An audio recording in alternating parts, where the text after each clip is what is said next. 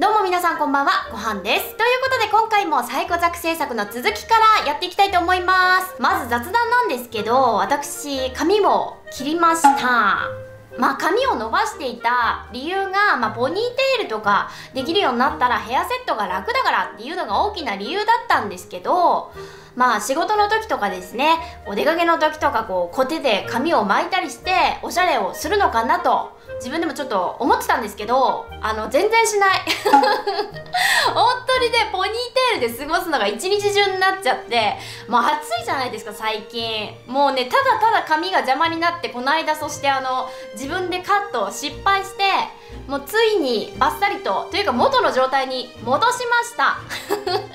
まあちょっとねあのポニーテールよりやっぱこのアイロンでねこう伸ばしたりするんでヘアセットは時間かかるんですけどまあ当分ねこの夏はショートカットで過ごしていきたいと思います。はい今回なんですがこちらバックパックを仕上げていきたいと思います。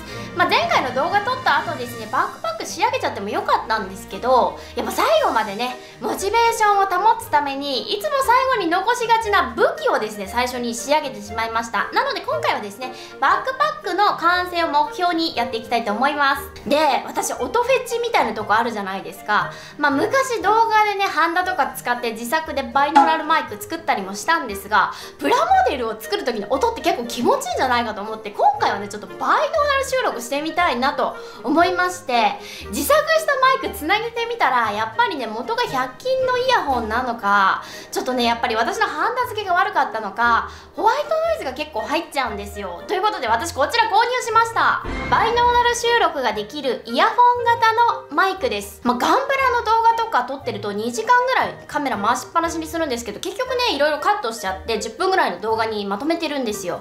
なのでそのカットしちゃう部分とかを一回私こちらバイノーナルマイクで収録して完全に音を聞く用の動画も1本撮っていきたいと思います。はい今回はですねこちらバックパックのこのサイドの部分とここにもうちょっと走行があるのでここを完成させていきたいと思います。4個ずつ作んなきゃいけないんだね。はいということでちょっとバイノーラルマイク設定してみました。もしも私の音声が聞きづらいようなら次回からですね通常のガンプラ動画はいつものマイクで撮りたいと思います。多分ねこっちがね右じゃない？こっち左？好きなんだよね、こういう作業音。え、こういうの耳に気持ちよくない？こうやって。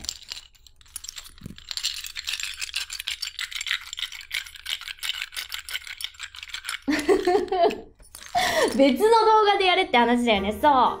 またね、このちょっと、音だけのやつは別の動画でちょっと作ろうかな。自分用に。では作業を進めていきましょう。はいということで凄まじい数のバーニアの処理が終わりました。ではこれをつけていく。これを4つ作っていくってことだね。これパチンって入るのかな？お入るね。そこまでバッチンって感じじゃないね。パチンって感じ。おおこれなかなかいい音なんじゃないですか？これ。逃げる逃げる。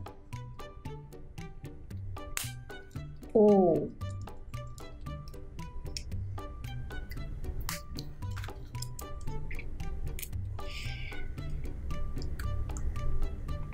オッケーできた。これを4つ作っていきます。これねつける位置間違えそう。なんかね2個ずつ似たようなパーツがあると。必ずと言っていいほどつけ間違えてきたからな。17の9で作ったやつの穴を上に向けた状態でここ。はいパチッと。ここも17の9穴を上に向けた状態で。あれ違う。こっちか。これね。をつけると。いいですね。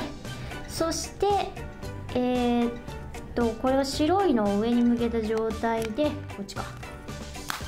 でこっちも白いのを上に向けた状態でいいですね。このパチンが気持ちいいよね。オッケー！ではではではでは序盤に作ったこの部品どれも同じだよね。をドッキングさせていきますと。OK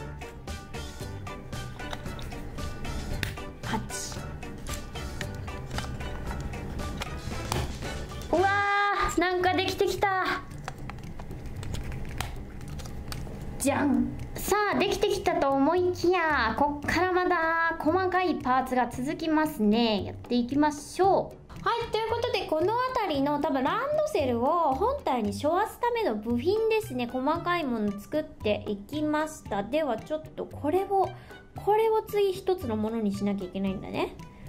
これはこうかな。違うなこっちだな。OK 結局メイクブラシ買ってきたよ。まあチークブラシね。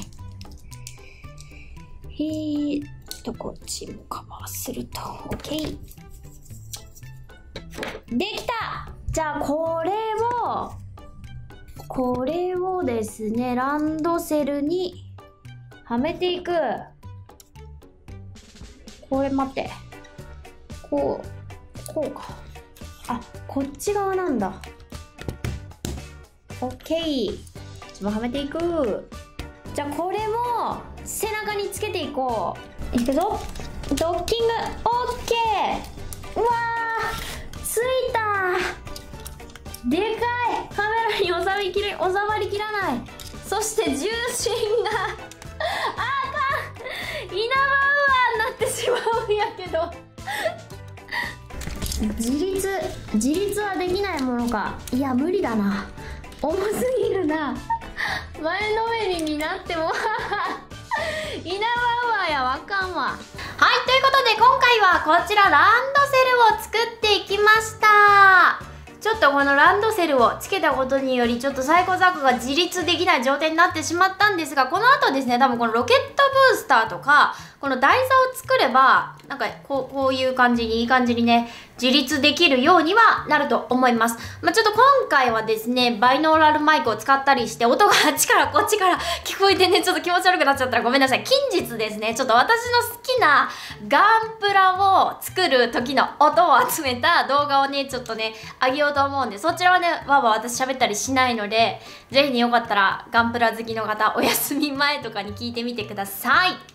はい、ではちょっとアップでお見せします。こんな感じに。なっております。かなりごついです。